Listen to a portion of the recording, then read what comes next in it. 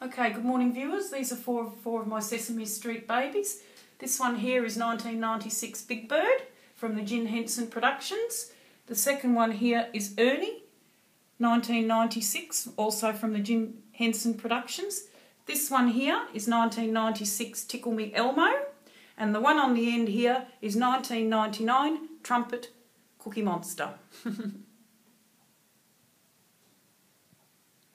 Okay, let's see them alone and what they can do. Okay, I'll show you what Big Bird does. That's funny. That's funny. He's in perfect working order. That's that one. Now we'll show you Ernie.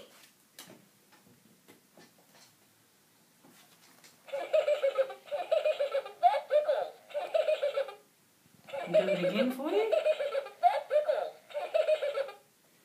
We'll show you Tickle Me Elmo. This is quite cute, this one.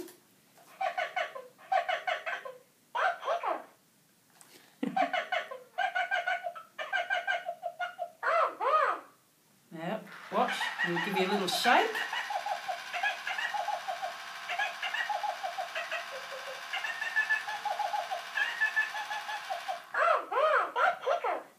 And he's in really good working order. Now this one here is very unusual. This is Cookie Monster. Watch what he does. Put the trumpet in the mouth. Wants you to play it again. Do it again. Do it once more for you.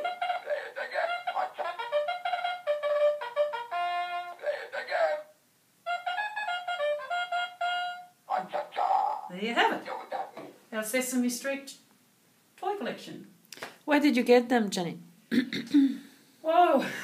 What's the garage story? sales. I got some from garage. Cup. This one came from a garage sale. That one came from a collector, and these two I just found in a in an op shop Beautiful. many many many years ago. I've had them a long time now, so And they are very much liked. they are they're loved. So I hope everybody likes them as much as I do. Thank you very much, Jenny.